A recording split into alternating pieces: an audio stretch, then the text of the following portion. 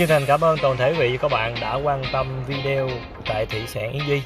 Nếu như quý vị thấy video ý nghĩa và có điều đặc biệt đến tất cả quý vị, quý vị không quên đăng ký kênh để ủng hộ kênh thị sản Yến Duy hay là chia sẻ cho những người thân, bạn bè, anh em để cùng phát triển cho ngành tôm tại Việt Nam.